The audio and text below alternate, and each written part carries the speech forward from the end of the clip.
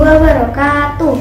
Alhamdulillah wa syukurillah. Asyhadu an la ilaha illallah Wa asyhadu anna muhammadar rasulullah. Allahumma sholli ala sayyidina Muhammad Wa ala ali sayyidina Muhammad. Pertama marilah kita bersyukur kepada Allah atas iman, Islam, kesehatan, dan kesempatan Sehingga kita bisa bertemu pada kesempatan hari ini.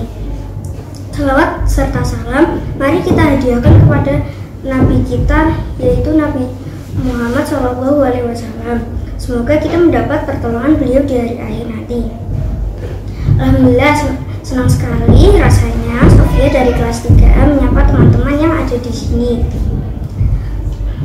Apakah kalian sedang berpuasa? Masya Allah, Alhamdulillah semoga Allah beri kelancaran dalam kalian berpuasa ya. Nah, kali ini Sofia akan menyampaikan tentang beberapa hal yang membatalkan puasa. Yang pertama, minum. Kedua, makan. Ketiga, muntah dengan sengaja. Keempat, haid. Yang kelima, melahirkan. Keenam, hilang akal. Tujuh, keluar dari Islam.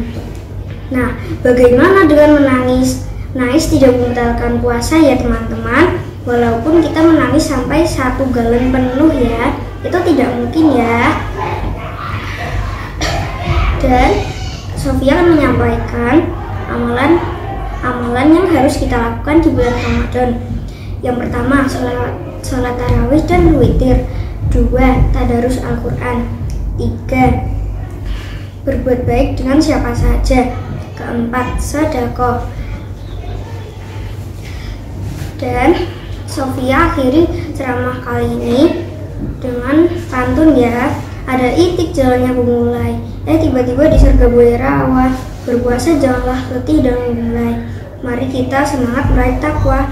Wassalamualaikum warahmatullahi wabarakatuh